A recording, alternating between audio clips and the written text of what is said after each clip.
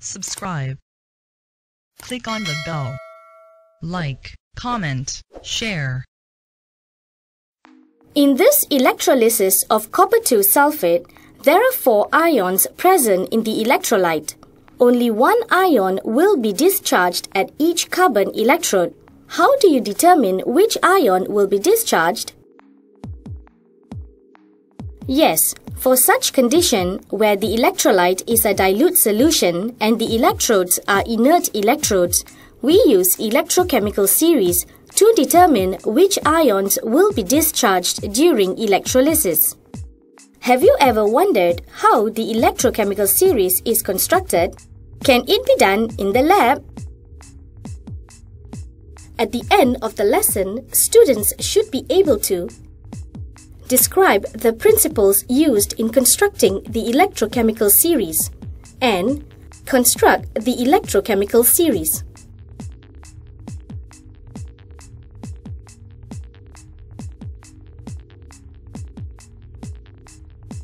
What is electrochemical series?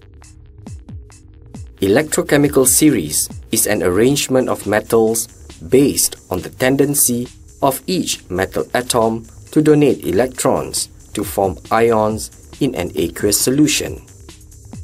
Metal with the greatest tendency to donate electrons will be placed in the highest position of the electrochemical series.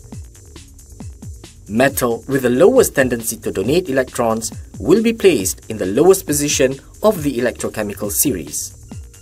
How is the electrochemical series constructed?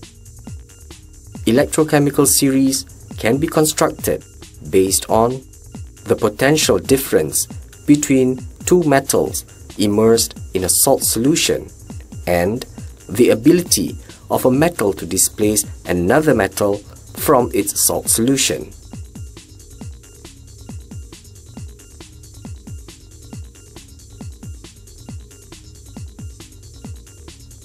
Let us construct the electrochemical series based on the potential difference between two metal strips.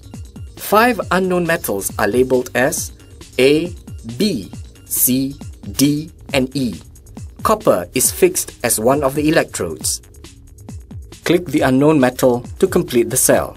Record the voltage obtained in the data table. And from the voltage readings, determine which metal is the negative terminal of the cell Click on the Analyze button when you are done.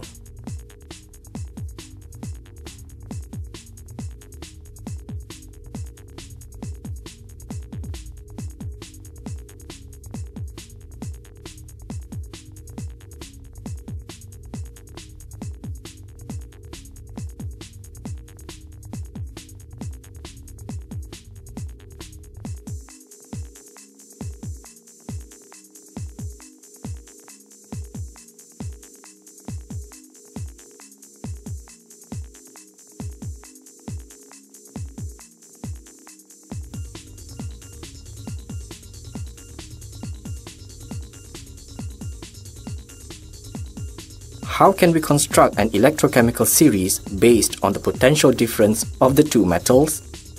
Look at the data. Construct the electrochemical series based on the data. Metal in the highest position in the electrochemical series is the unknown metal with the largest voltage readings, and the lowest in the electrochemical series is the unknown metal with the smallest voltage readings. Now, click and drag button A, C, D, E and copper to complete the electrochemical series.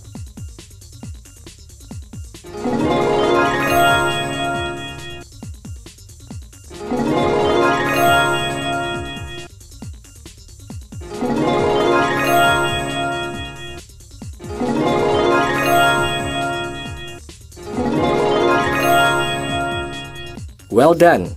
You have successfully constructed an electrochemical series. From the data and the electrochemical series, we can see that metals showing the highest voltage or potential difference are metals which are placed furthest apart in the series. The metal that acts as a negative terminal will be placed higher in the electrochemical series than the metals that acts as the positive terminal.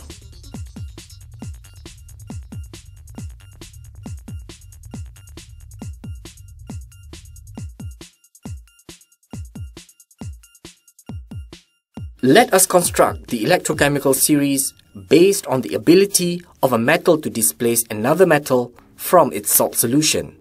There are four types of solutions.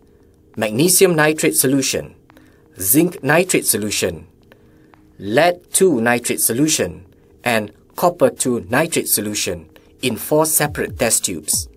There are also four metal strips, magnesium, zinc, lead and copper.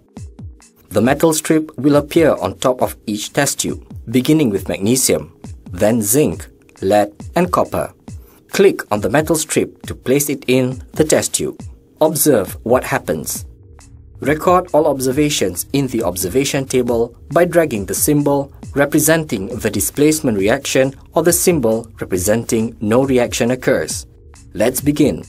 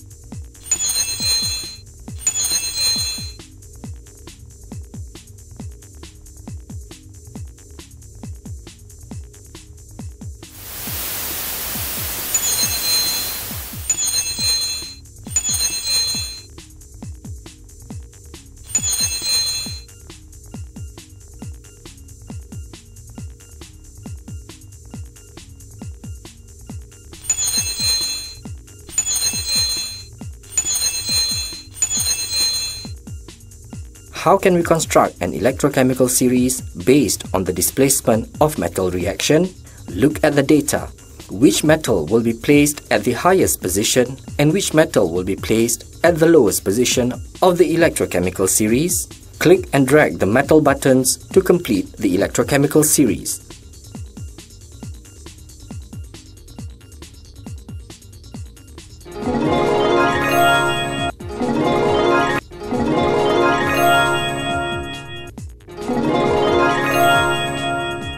Well done!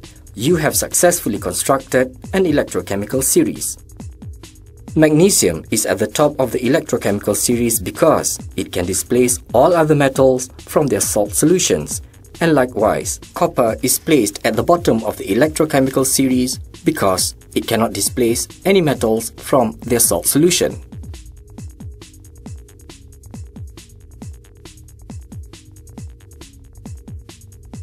We can write equation to represent what happens during displacement of metals in salt solution. For example, the displacement of zinc metal in copper 2 sulfate solution to give zinc sulfate and copper. Let's write the chemical equation to represent the displacement reaction. Click the check button when you're done. Now, let's write the ionic equations. First, write the equation in a form of ion. Examine the equation. Can you name the ion that does not change? Yes, the sulfate ion does not change. Such ion is called spectator ion. The spectator ion is not written in the ionic equation. Now, can you write the ionic equation? Press the check button when you are done.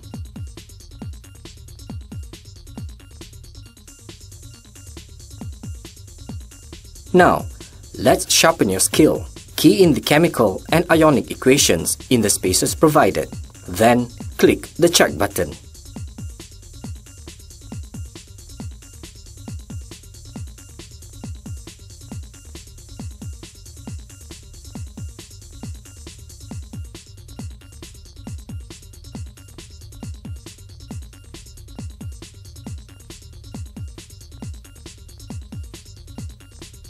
In this lesson, you have learned that the electrochemical series can be constructed based on the potential difference between two metals. The larger the potential difference between the metals, the further the metals will be placed in the series. The metal which is higher in the series will be the negative terminal. Metal displacement reaction. A metal which is placed higher in the electrochemical series can displace another metal placed lower in the series from its salt solution. Thanks for watching. Please subscribe and hit the bell icon.